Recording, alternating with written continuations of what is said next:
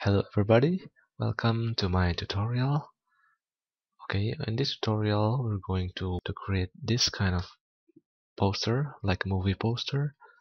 So I'll show you how to do that in Photoshop.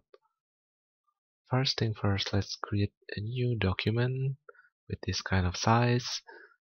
And okay, next we're going to add uh, the model. We're going to use the stock image.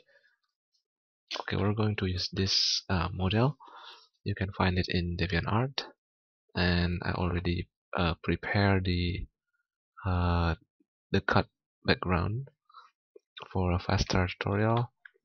So I'm gonna put this into the document. Alright so before you continue you have to cut first and then put it right here. And yeah like this. Alright and for the next we're going to uh, brighten up this uh, model of a kid. Alright uh, and then using this clipping mask next uh, we'll add vibrance to uh, desaturate a bit.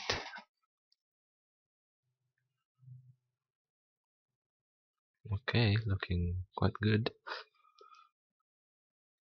And then next uh, we're going to uh, make the background to be black. You can use image adjustment and invert. Okay looking good and maybe we need to cut this part.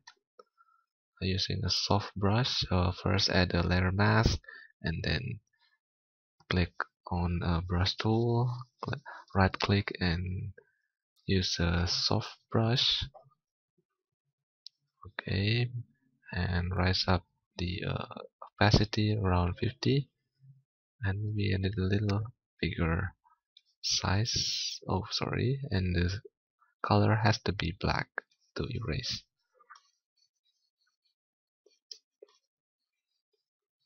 Okay. And then okay looking good to go. Next we're going to add the lighting effects. First uh, we need to duplicate this layer and name it to lens flare and then we'll go to filter choose render and lens flare. And pick this option and then click OK. Mm, actually we want to be the light right uh, behind this his palm. So I think we need to undo and go again to lens flare. And this time maybe shift it a bit on the right and click OK. Uh, still not good. Okay one more time. Render lens flare and maybe around here. Click OK. Alright now it's uh, looking pretty much great. Then maybe I need to shift this up this up a bit. Okay on that kind of position and then we're going to recolor the light by using color balance. Activate its uh, clipping mask and then rise up the blue channel to make the light goes uh, has kind of blue ambient color. Hmm, that's looking quite cool and then you might want to add more light to this uh, to this kind of magic. So we're going to create a new layer. Okay whatever. New layer double tap on it rename it light. And change the uh, mode to screen. Then we choose brush tool and and yeah use a pale blue to add uh, more lighting effects here. So with that brush give it more size and then just click click one time here. Oh sorry. Actually has to be right here and then click it one time. Yeah it, it looks more uh, maybe uh, lower the opacity. I feel it is just too strong. Okay the light now look looking more convincing. Okay for the next part we are going to add more effects for this light. Uh, what we're going to do is to uh, duplicate this. What you need to do is to simply hold alt key and then drag it up. So you are actually duplicating this layer but now change into cloud and then go to filter render clouds. Alright and you can toggle uh, I mean change the cloud texture by pressing ctrl F or goes here control F. Okay you can choose whatever kind of cloud texture that you want. And next we're going to give it a zoom effect. Uh, before that we're going to make it a little bit darker. Okay by using curves. And then put this on the top of everything and then change the mode into screen. And next um, now give a blur radial blur to give uh, some kind of interesting effects. Maybe I want the amount to be 80 and click OK. Let's see how does it look wow no nice kind of effect. But I think we need to move the the center point. So simply using pick tool I mean move tool and then place it right there. And to compensate this we need simply uh, transform and pull the pull this down okay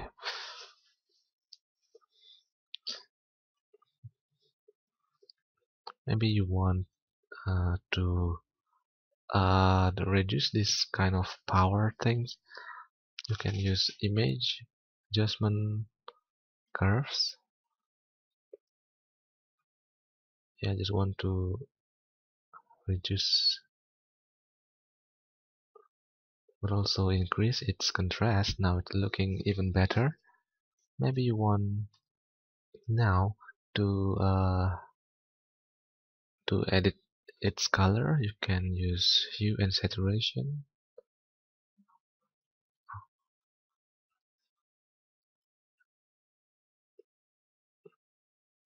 I want it to match the light of the core of this light. Yeah maybe maybe that's enough. Alright I think we need to adjust the tone of this boy. We need to go back to this layer and then choose color balance. Activate its uh, clipping mask and then rise up the blue channel. So now we can see the boy has a more blended tone into the com composition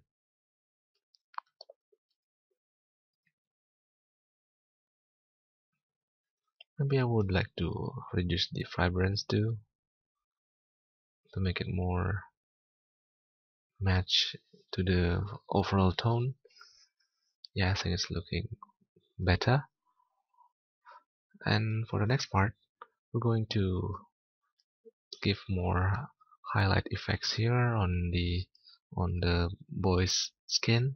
What we need to do is to create a new layer. And then name it overlay. Use a grip, create a clipping mask and then set the mode to overlay and fill this. I mean check this. And click OK. Okay we're going to add more highlights on his surface because there's a light so logically there'll be more highlights over here.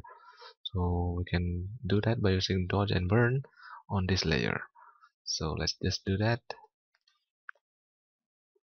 Dodge and burn.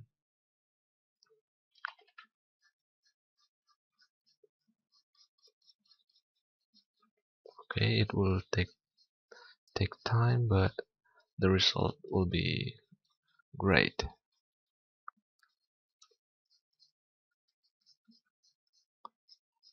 So simply uh, put more highlights on the surface that logically the light will uh, fall into. So I think here and maybe more on here and you can increase the size of the brush by using a bracket close bracket uh, button on your keyboard. And over here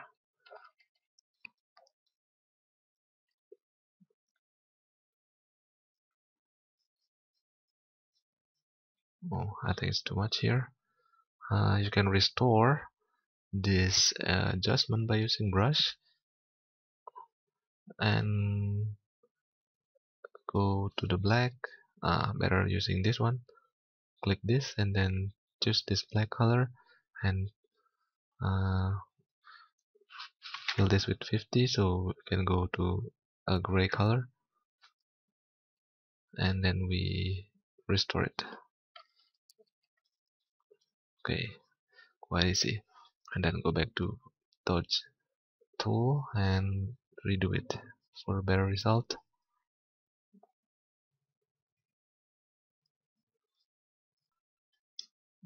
Okay how does it look now? Oh yeah looking better. Right we're going to add another detail uh, for this magic. So I'm going to use um, this kind of long exposure photographs of a lamb. So okay just go ahead and open in Photoshop. Maybe a little bit cut here but we can fix that easily. Um go to window range and just do a vertical and then we uh, move it here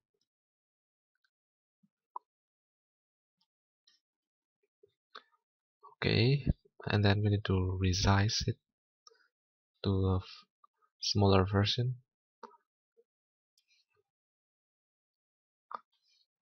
Okay.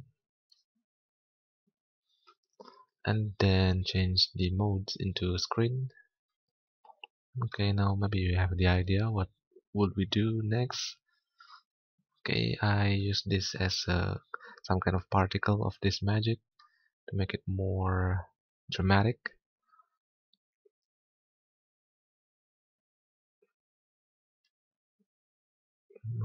Okay. And then I think we need to cut this because it looks like a disaster if you don't uh, erase that. So just go to burn tool and burn the edge of this to hide the hard edges.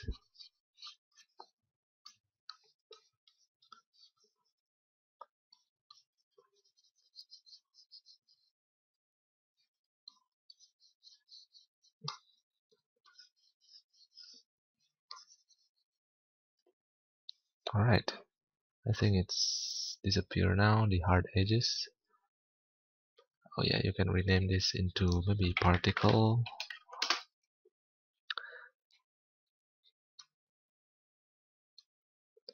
and next maybe you want to edit its uh, tone using color balance. Raise the blue. And this one too. Let's see if we use uh, and saturation too to shift from green to blue. I don't think it's a nice idea okay cancel it. Okay for the next step we're going to duplicate this to complete the particle circle.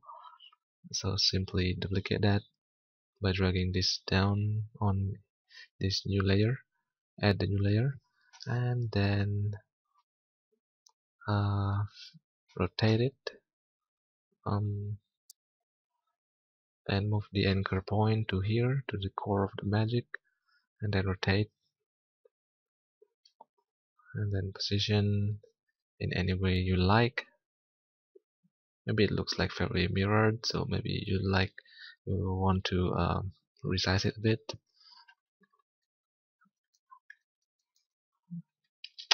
Okay.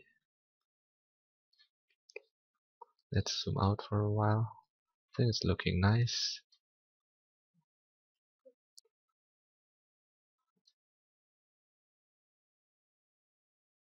mm, I don't know. It looks like a bit also forming some kind of circle. Maybe you want to move this to this previous layer before. So now I think it's uh, quite okay. And here comes the hard edge again. So what you need to do is come back to burn tool and um, erase the hard edge part. Well I think it's gone already. Okay looking pretty interesting. Maybe you also want to add another effect by simply using these two but first you need to duplicate them and then merge uh, right click and and use merge layer and go back to screen. What we need to do is to give a radial blur. Mm, for this time we use spin.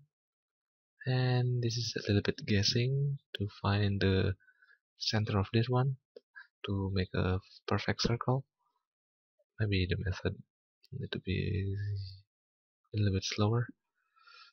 I mean lower. Okay. Oh, I cannot see what's going on. I need to undo and retry the blur. Radial blur. Maybe the amount is way too high maybe we would like to go a little bit very slow. I mean very low. Sorry. Okay 8 maybe um sorry I think it's not really working much. Ah here we go.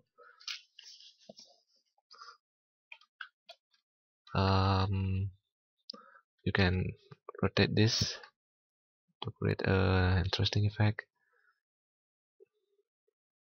Maybe you need to zoom out first and then free transform and move the anchor point there and then rotate it.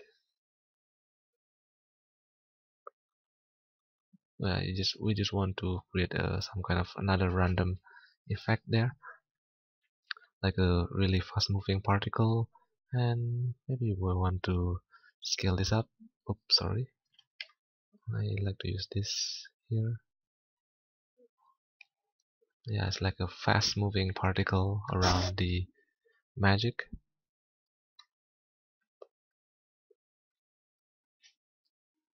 yeah it's look more uh, dynamic there. Maybe uh, we need to make a little bit darker to reduce some ambient light there. Reduce the ambience there and maybe rise the highlights.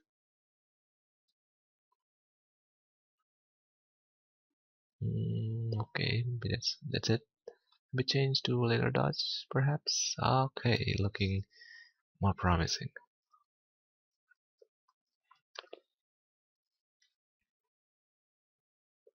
Okay that's it for the first part of this tutorial. So until then see you in the next tutorial. Thank you